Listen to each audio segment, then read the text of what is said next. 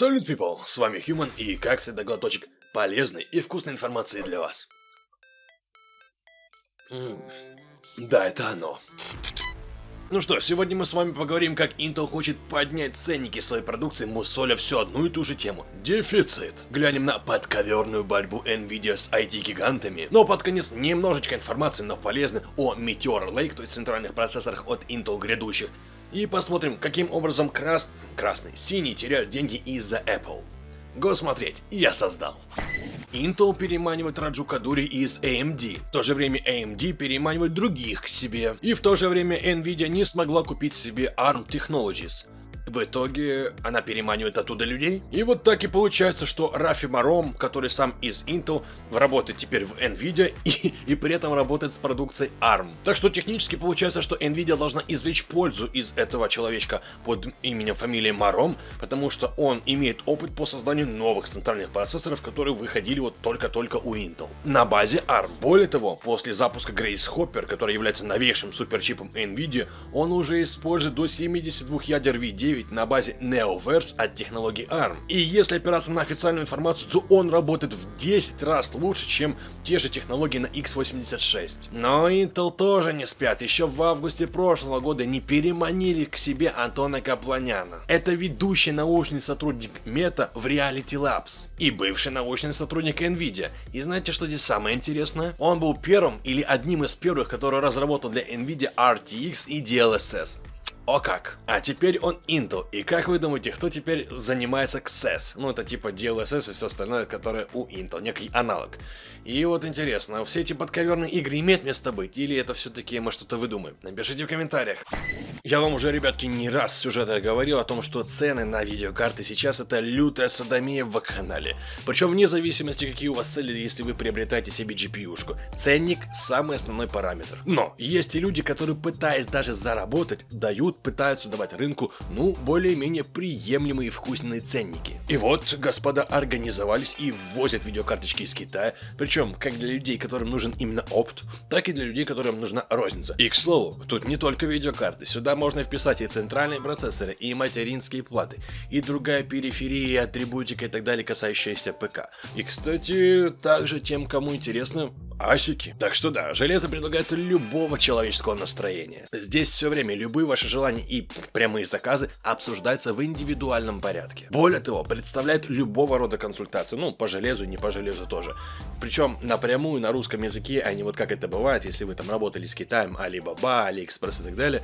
Ну, переводчик иногда тупит, особенно когда первоначальный продавец, китаец зачастую, он продает пишет вам на китайском языке, и не всегда иероглифы переводятся корректно. То есть, если он пишет на английском, еще ладно. А здесь прям прямой нативный язык ваш. Более того, вы также можете созвониться по видеосвязи, что еще комфортнее, чем чат, потому что таким образом вы можете увидеть, с чем вы работаете и с кем вы работаете. Продукция, естественно, вся новая, ценники очень приятные, а если вы еще и товарища затащите в эту движуху, ну там, чтобы он тоже сделал заказ, то вы получите скидку здесь и сейчас. Не когда-то там в каком-то там заказике или каким-то бонусом, а прям по факту. Сама же методология приобретения, она проста как 5 копеек. Вы изначально консультируетесь, задаете вопросы животрепещущие, которые вас очень сильно волнуют, причем любые, можете хотя бы даже по поинтересоваться погодой в Китае, какой там был президент до этого. Далее происходит разговор и, скажем так, составление договора о купле и продаже. Ну а оплатить вы можете в своей национальной валюте, либо в USDT, что по мне даже как-то поудобнее. Само собой, перед отправкой вам сфотографируют, я думаю, можно даже попросить видео товара, которым вы будете пользоваться в, в перспективе, ну, для того, чтобы вы посмотрели, как он выглядит, какие там, скажем так, серийные номера и так далее, чтобы прислали реально то, что вам фотографируют и снимают видео, а не понятно что. Ну и все, ждете от 12 до 16 дней, то есть технически пару недель. И потом, как всегда, баутесь либо в игрушки шпилите, либо майните, ну и либо и то, и другое. Так что, коль интересно, стучитесь ребятам в Телеграм. Ссылочки оставляю в описании. Удачи! Ну что, генеральный директор Intel теперь считает, что нехватка чипа будет и до 2024 года. В интервью CNBC генеральный директор Intel Пэт Гелсинджер озвучил первый прогноз нехватки чипов на 2023 год и даже дальше. И вот здесь самый главный момент. Как только Пэт стал главным директором в Intel, они сделали уже несколько заявлений. Ну, о своих планах, естественно. Это и многомиллиардные фабрики, и стратегии по литейным услугам, которые, естественно, позволят как технологам Intel, так и, в принципе, другим компаниям использовать использовать эти услуги для себя, для своего производства, и, соответственно, это будет выгодно для синих. Это важно по той простой причине, что Intel указывает, что они в лучшем положении производства, а следовательно, если дефицит какой-то есть, допустим, он будет, то у Intel положение будет лучше. И, скорее всего, не только с центральными процессорами, если мы берем даже обычный сегмент, в плане там не серверный, а обычный розничный, да, потребительский, то и в плане видеокарт.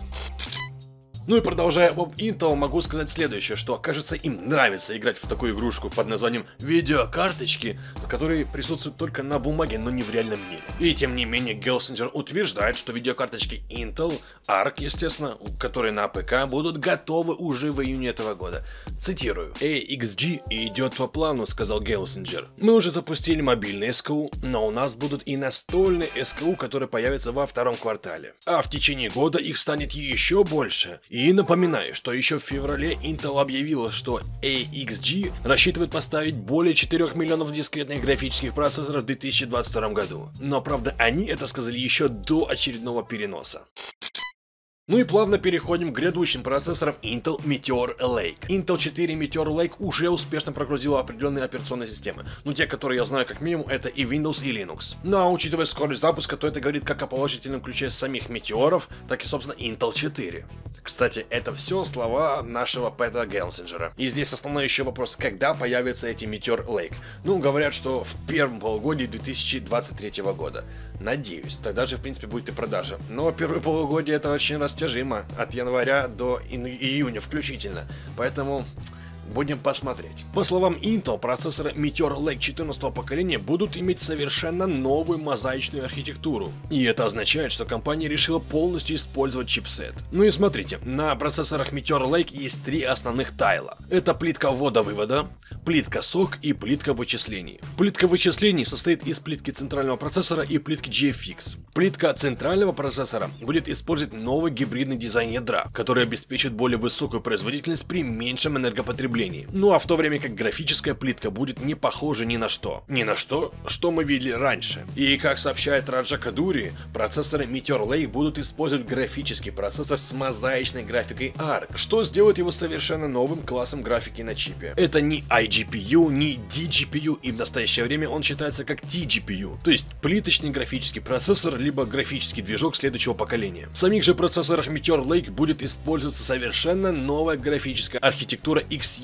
HPG, который обеспечивает повышенную производительность при том же уровне энергоэффективности. Ну, естественно, что и у существующих интегрированных графических процессорах. Это также обеспечит расширенную поддержку DirectX 12 Ultimate и XS функций, которые на данный момент поддерживаются только линейкой Alchemic.